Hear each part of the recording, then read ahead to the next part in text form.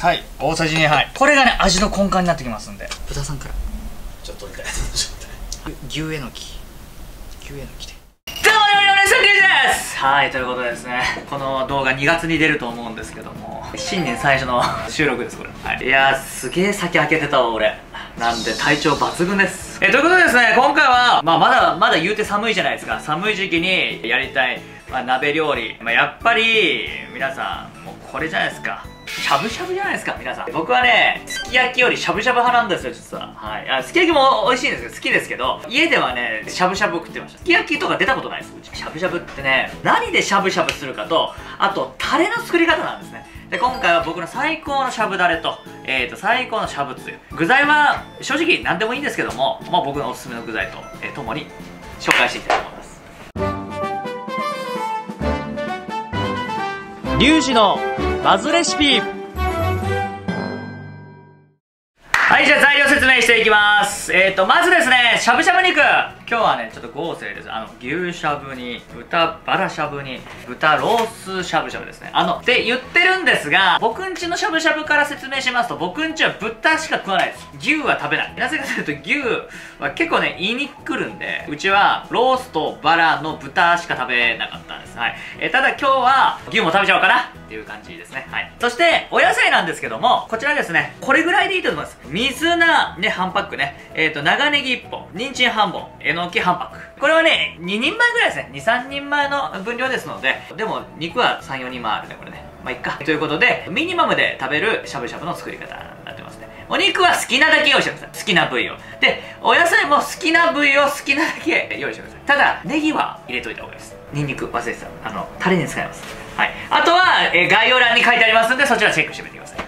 はいということでですねやっていきましょうか。これ至高のしゃぶしゃぶを作っていくためにはですねやっぱりですね自らを至高にしなきゃいけない。それが俺の戦いなんですということで戦っていきます。でアルチューマシン使いすぎてさいつも瀕死なんだけどこれ。アルチューマシン!ビューあ瀕死ですねこれね。ちょっと濃かったか。一回死ん死です。開け出しということでいや濃くね？ジンジャーエールみたいな色してる。ということで自らを至高にしていきたいと思います。乾杯！ああ大人のジンジャーエール。ということでやっていきたいと思います。はいやっていきたいと思います。まずですねどうしましょうかも。うじゃあお野菜から切っていきますね。えっ、ー、とまず水菜ね。僕水菜こうやって芯切り落としたらねあの一回洗いますね。はい洗ってですね。まあしゃぶしゃぶですから箸で持ってちょっとしゃぶしゃぶできるぐらいそしたら、ね、お皿がありますから綺麗に盛り付けましょうね。次長ネギです。長ネギもあのねネギはね入れた方がいい。ネギをあのつゆに入れるとねかなりね爽やかな香りがするんですよね。なんで僕はネギたっぷりはい他の具材が多いです。でこんな感じで斜めに幅広にね切ってしゃぶしゃぶするといいです。はい。あやべ胃に何も入れてなかったからハイボールがものすごい効いてくる。よし。長ネギもまあここら辺にそしてえのきだけ。僕はここら辺から切っちゃいます。はい。もったいないんでね。でこうやって全部ね裂かないで大丈夫なんでね。しゃぶしゃぶしますんで後で。しゃぶしゃぶしやすいぐらいの感じで。でこいつをここ。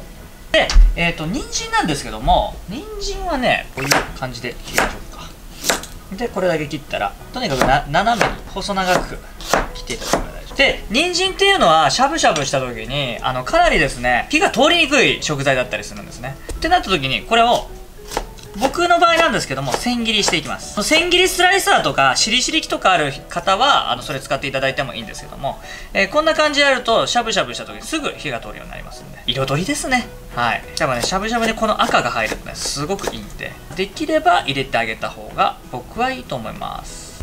はい。そしたらもうこれも。ねネギだけ結構たっぷりですねこれね、好み。ね、他は椎茸入れていただいてもいいし、ね、豆腐入れていただいてもいいですし、何入れていただいても結構です。えー、あとね、えっ、ー、と、このニンニクね、えっ、ー、と、後でおろします。はい、あの、タレ作りますんでね。はい、タレ作るために、えこれ剥いといてくださいね。実はね、このレシピね、めっちゃ簡単なんですよ。ね、簡単なんですけども、タレを作っていきます、これから。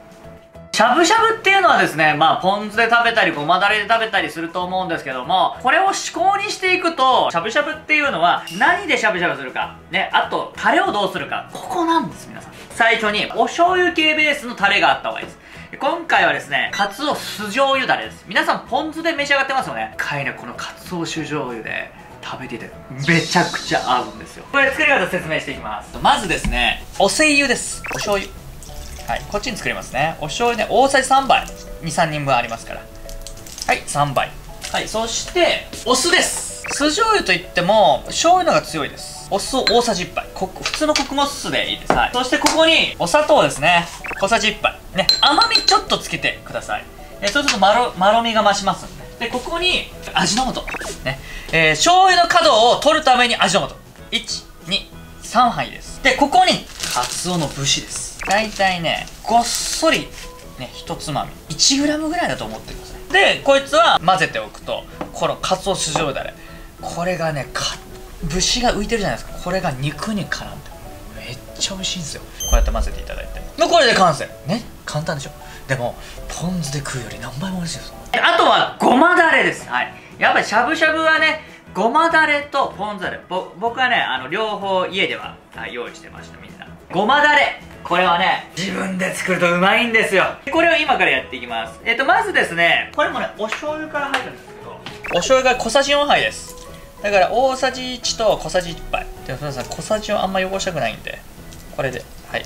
小さじ4杯です。お砂糖であの市販のしゃぶしゃぶだれを食べていただいてもわかるんですけどもあのごまだれってね結構甘いんです。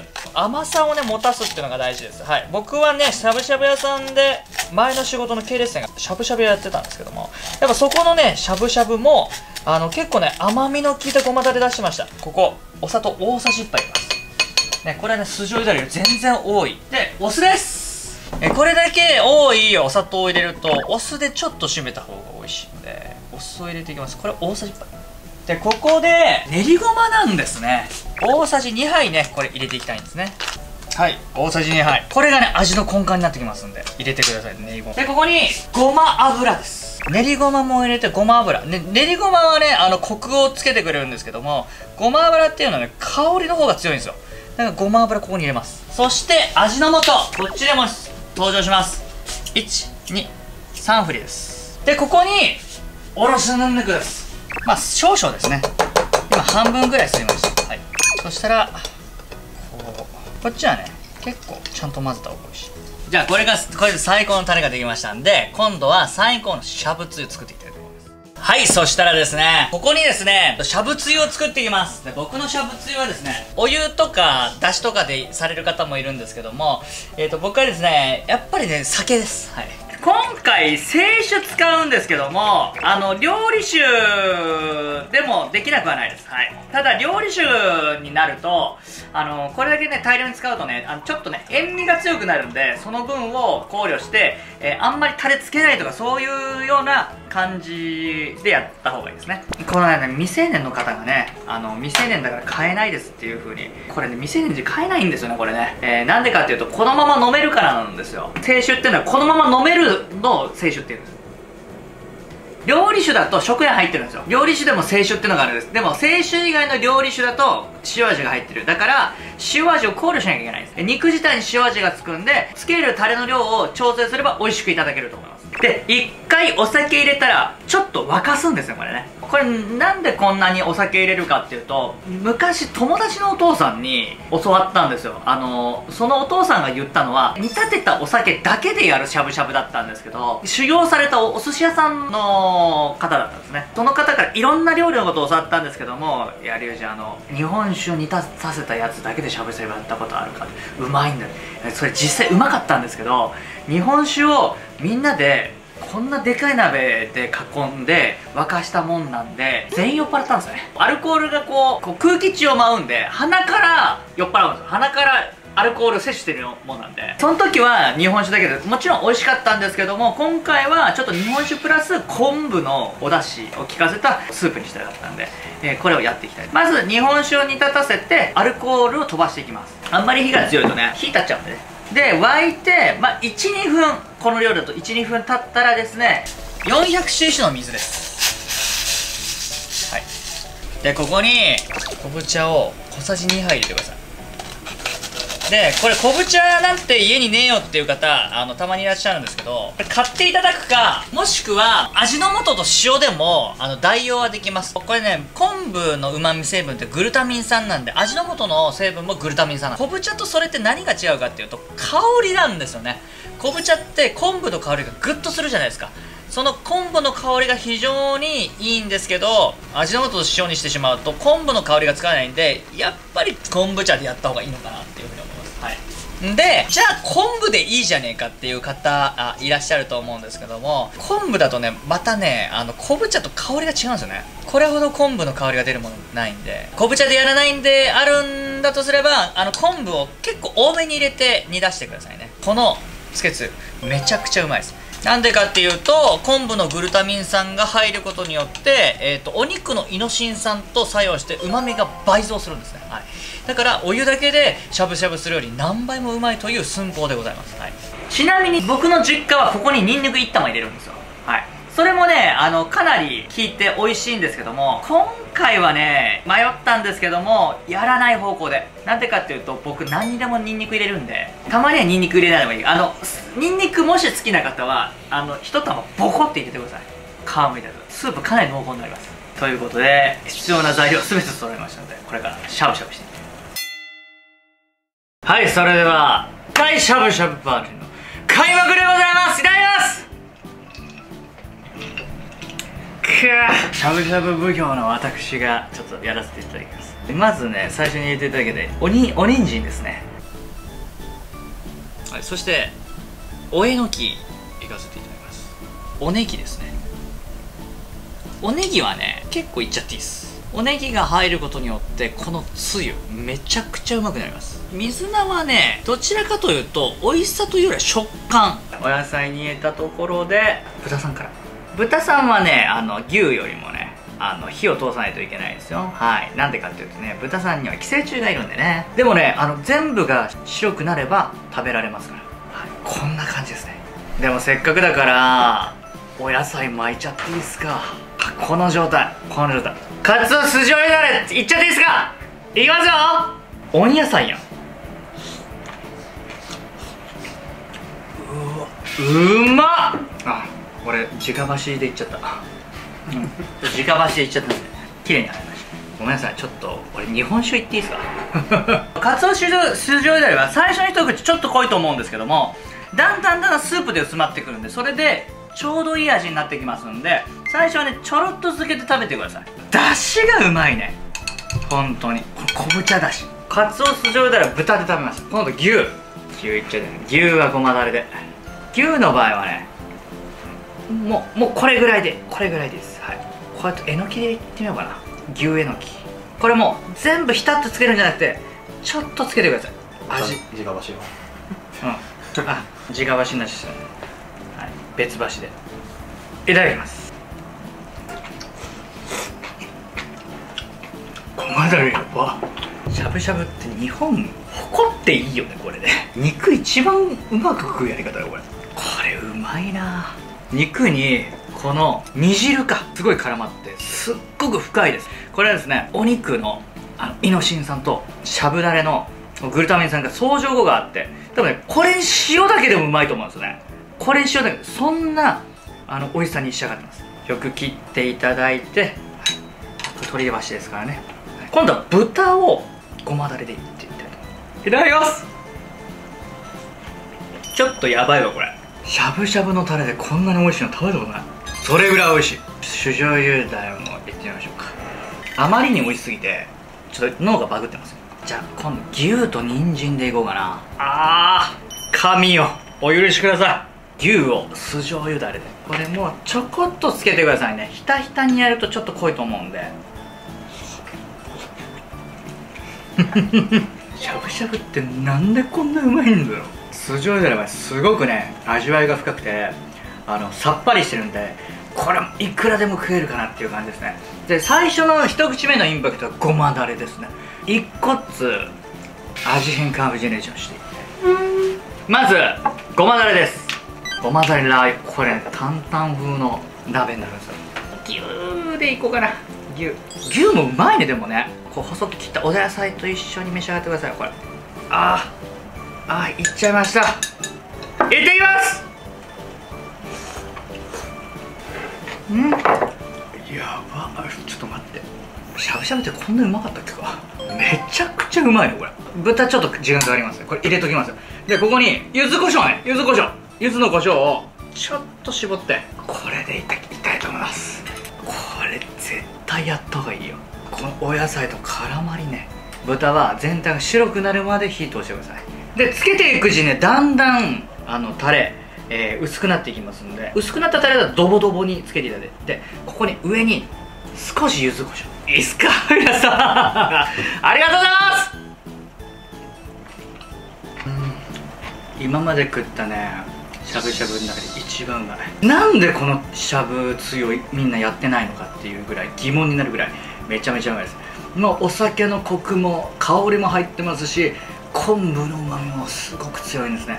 でここに僕の手作りのタレをつけることによってえも言われる幸せがあなたをいざないます。これは食べようかみんなで。しゃぶしゃぶパーティー開演です。何がやばい野菜がうまいんだよね。うまそう。やばい。はい。ああうまいねこれこの酒うまいね。新潟はチート。新潟の酒チートです。じゃあまずロースねこれね全部やったけどごまだれがいい。いっはいはいなんかぱい取れちゃう。本格的しゃぶしゃぶ屋さんだ お店の人がこう完璧にやってくれる。確かに確かに。いいいいしゃぶしゃぶ屋さんいいしゃぶしゃぶ屋さん。そうそう。ちょっとねよく切った方がいいよく切ってよく切ったところであごまだれ。でごまだれもあんまり浸さなくていいから。あーあーはいはいどうぞ。はいはいどうぞいただきます。はいいただきます。まずまずまずごまだれ召し上がってください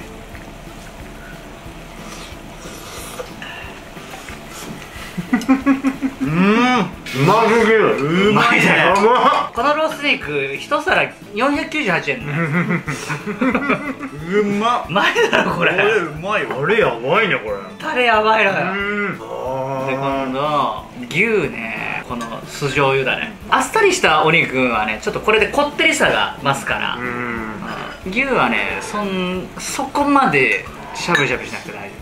これはやばいね。もう市販のごまだれとはあ全く違う。あの市販より全然うまい。やばい。なぜかというとごまの保有率が違うんだよね。濃厚さが違うから、うんちょこっともうそそこでもういっちゃっていいと。そこでいっちゃった。うんそこでいっちゃっていい。忙しそう。助かる。ホスピタリティが。ホスピタリティがですね。はいはいはい。あこれでこれで。いってください、はいいただきますいただきます。これもうまいね。これもうまいだろう。うん。ん。これもうまいだろやば。鰹節がまだ切れてて。うん。そうあのカツオの効いたあのしゃぶしゃぶのタレってないんですよ、ないよね。うん、カツオと昆布のうまみと肉のうまみが全部合わさって俺試作してて結構一人で食ってたんだけど、うん。今日のがうまいんですよ。全然店って言えると思う全然店だねでも全部スーパーの肉今度は牛ごまで。牛ごまで。牛ごまの場合ねちょっとラー油いった方がいいと思いますね、ごまラー油牛肉。い今回牛はねあのごまだれかなりいけますから。いただきます。うーん。やばうんあうまっやばいよね。俺びっくりしたわ。うん。うまい。牛はねあのー、匂いもあるからラー油をつけるとねままた違う側面を見せる、ねごまだれほんと美味しいね。ごまだれうまいでしょ。そうでも混ぜるだけよ。うん。あんな一瞬でできるわけだからこんだけでこんなうまいタレ作れるんだっていうのをまず覚えていただきたいっていう。豚バラのカツオの柚子胡椒てかもう酒飲みのなっちゃってるんだよねこれね。俺いい感じになっちゃった。俺1本目なんだけど。これうん柚子胡椒ねやばいよ。マジでまた化けっからこれ。いただきます。いただきます。最高だろうまい。うますぎ る。少し合うね。合うんだよね。俺はもう二度とポン酢でやらんと思う。いいやほんとこれ知っちゃったらね。やポン酢うまいんだけどね。うん。めちゃくちゃやり直した。とりあえず全部食べたい。であのもうそろそろ締めてもらって大丈夫だけどだいぶ長いから。なんでこれはちょっと今日はしゃぶしゃぶパーティーということで、はい、今日はこれを楽しんで終わりますので。皆さんありがとうございました。はい終わりで。あちょっと待った。ちょっと待って。ちょっとあのこれあのー、これ肉のうまみが染みついてるから最後雑炊。ね。うん。はい。雑炊してください。雑炊のやり方はちょっと僕の他の鍋レシピの方を見てください。はい。あの概要欄に書いとこう。うん概要欄に書いたご飯洗ってもらって入れて塩足してで卵でうん。閉じて。これめっちゃうまい汁だから。そう。うん。なんでぜひ試してみてください